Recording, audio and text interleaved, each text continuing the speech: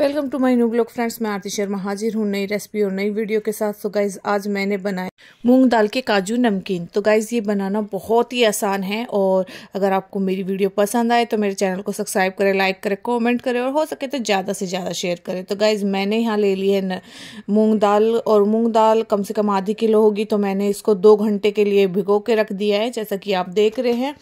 और अभी मैं लूँगी एक मिक्सर जार और उसमें अपनी मूंग दाल को डाल लूँगी तो इसमें मैं ज़्यादा पानी नहीं डालूँगी। तो मैं थोड़ी थोड़ी करके पीस लेती हूँ तो मैंने थोड़ी लिया है और इसमें एक टुकड़ा अदरक का डाल दिया है, दो मिर्ची डाल दी हैं और अभी मैं इनको अच्छे से ग्राइंड कर लूँगी। तो इस बीच में मैं मिक्सी को कभी चलाऊँगी, कभी बंद करूँगी और एक दरदरा सा पेस्ट बना लूँगी, जैसा कि आप देख रहे हैं कि ये ना तो ज़्यादा पतला है और ना ही ज़्यादा मोटा है, बीच का है, मीडियम है तो अभी मैं डाल लेती हूँ इसमें जीरा और साथ में डाल लेती हूँ थोड़ी अजवाइन, जैसा कि आप देख रहे हैं, और साथ में डाल सो गाइज़ मैं इसमें डाल देती हूँ थोड़ी सी हींग और साथ में डाल देती हूँ आधा चम्मच नमक, और अब मैं डालने वाली हूँ इसमें थोड़ी सी थोड़ी सी सूखी हुई मेथी तो गाइज़ इन सब का है ना, मसालों का बहुत ही अच्छा टेस्ट आता है। और अभी मैं एक चम्मच लेके सबको मिक्स कर देती हूँ और फिर डाल देती थोड़े से मसाले। तो जैसे कि मैंने हल्दी डाल दिया थोड़ा सा कलर लाने के लिए तो इससे है ना कलर बहुत अच्छा आता है काजू में।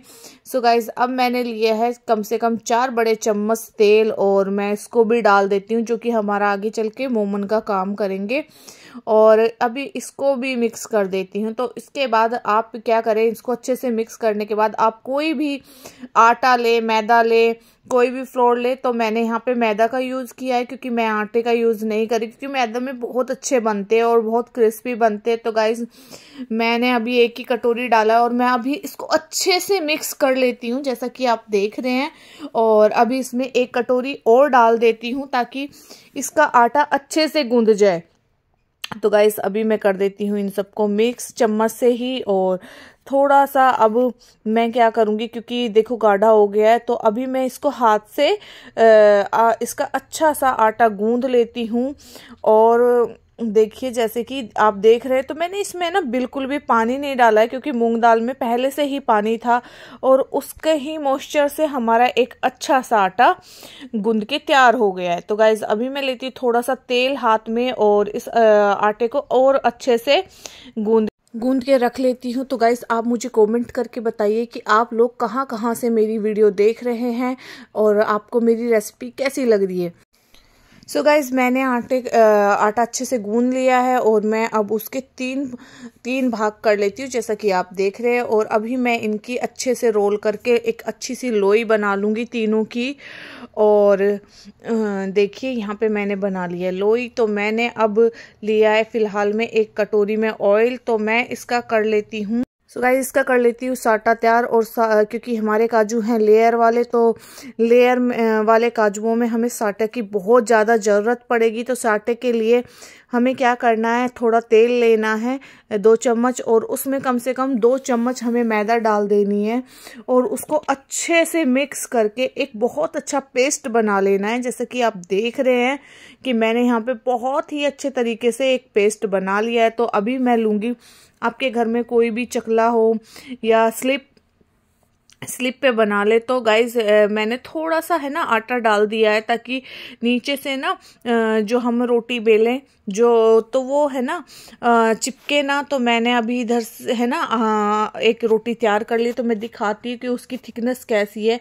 ना तो ज़्यादा गाइस मोटी है और ना ज़्यादा पतली है तो इसी तरीके से मैंने अपनी तीनों रोटियाँ बेल के तैयार कर ली हैं। तो गाइस ये देखिए, और अभी मैं क्या करने वाली हूँ? थोड़ा आटा और डालूँगी अपने चकले पे और उसके बाद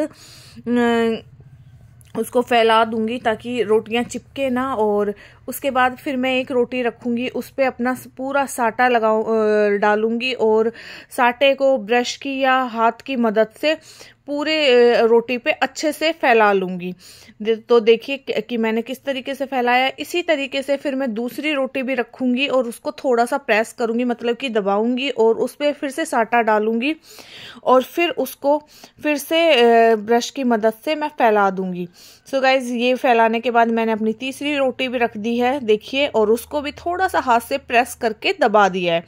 तो गाइज़ मैं लूँगी चकला और चकला लेने के बाद मैं रोटी को अच्छे से थोड़ा सा वो कर लूँगी, अच्छे से उसको बेल लूँगी। तो इधर मैंने कोई भी ढक्कन लीजिए, जैसे दवाई का हो गया या कोई कोल्ड ड्रिंक की बोतल का हो गया, कोई भी ढक्कन लीजिए और अब आपने जो रोटी बेली है, उसमें से इस तरीके से अपने काजू करना, कट करना शुरू कर लिए। तो ये एक घरेलू उपाय है और बहुत ही आसानी से आप इसमें काजू काट सकते हैं, जैसे कि आप देख रहे हैं।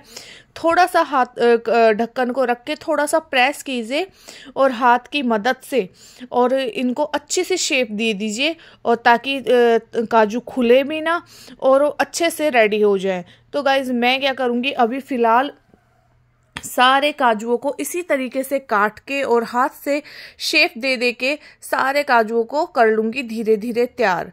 तो गाइज़ देखिए कि काजू की शेप कितनी अच्छी आ रखी है और कितने सुंदर लग रहे दिखने में। तो गाइज़ इसी तरीके से मैंने अपने सारे काजू कट कर लिए हैं। तो देखिए, जितनी काजू की शेप बनी, उतनी तो ठीक है, बाकी का आटा मैं वेस्ट नहीं करूँगी।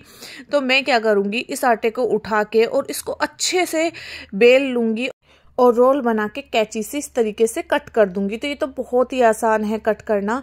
और देखिए, बहुत ही जल्दी ये बन भी जाएँगे क्योंकि इनको इतना ज़्यादा कुछ करना नहीं है। तो देखिए, मैंने, है ना तो दूसरे शेप की भी मैंने नमकीन तैयार कर ली है। तो देखिए कितनी जल्दी से तैयार हो गई है।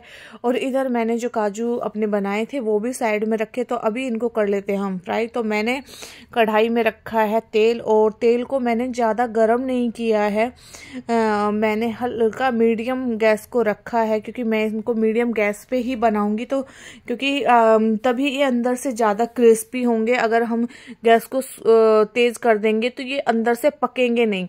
तो गाइस मैंने जितने भी काजू थे, मेरे जितने भी काजू थे, मैंने तेल कढ़ाई में अच्छा सारा डाल के सारे काजू एक साथ ही डाल दिए, काजू की नमकीन। और ये देखिए कि हल्का हल्का सा मैं क्या कर रही हूँ, इनको हल्का हल्का सा बीच बीच में चला भी रही हूँ, जैसा कि बहुत ज़्यादा नहीं चला रही हूँ। बिल्कुल हल्का हल्का सा और अभी इनको गोल्डन ब्राउन कर लेते हैं, अच्छे से पका लेते हैं। और गाइस देखिए यहाँ पे है ना, काजू अच्छे से पक गए हैं तो मैंने निकालना शुरू कर दिया और देखिए काजुओं का कलर कितना प्यारा आया है। सो so गाइज़ इस तरीके से आप हम्म, दूसरा भी बैच डाल दिए और दूसरा बैच है ना वो बहुत जल्दी फ्राई हो जाएगा। उसमें इतना टाइम नहीं लगेगा जितना कि काजुओं में लगा है। सो गाइज़ यहाँ पे देखिए काजू हो गए हैं तैयार रेडी एकदम से। और अभी हम चलते हैं तो मसाला बना लेते हैं। तो गाइज़ मेरी वीडियो पसंद आए तो मेरे चैनल को सब्सक्राइब करें और लाइक करें कॉमेंट्स करें और हो सके तो ज़्यादा से ज़्यादा शेयर करें। तो गाइज़ मैंने मसाला बनाने के लिए ले लिया लाल मिर्च और साथ में ले ली है थोड़ी सी पीली मिर्च। तो पीली मिर्च खाने में बहुत ही चटपटी है और बहुत ही अच्छा फ्लेवर लेके आती है। तो मैंने ले लिया। यहाँ पे थोड़ा सा काली मिर्च भी ले ली है। तो साथ में ले लिया थोड़ा सा अमचूर और अभी मैं डाल दूँगी थोड़ा सा नमक। तो गाइज़ इन सबको मैं चम्मच से मिक्स कर लूँगी अच्छे से, जैसा कि आप देख रहे हैं।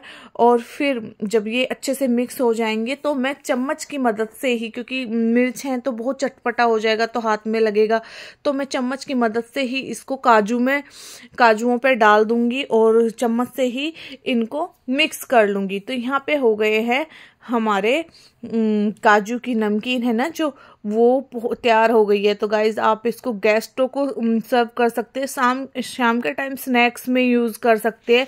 ये खाने में बहुत ही टेस्टी होते हैं।